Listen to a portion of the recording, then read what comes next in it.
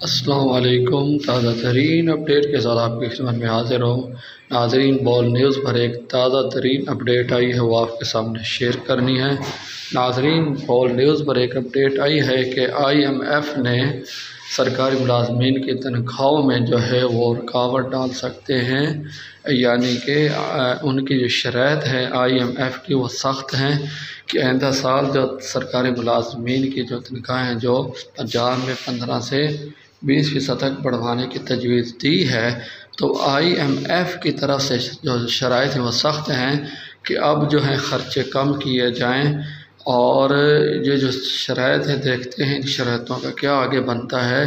کیونکہ اب بجٹ بولنے تقریباً بجٹ بولنے میں بھی دو دن باقی ہیں۔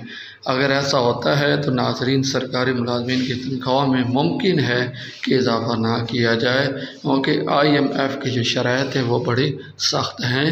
یہ ابھی ابھی نیوز چلی ہے بول نیوز پر۔ آج کی اگر ویڈیو اچھے لگے تو ہمارے چینل سن رائز کو سبسکرائب کرنا نہ بھولیے گا۔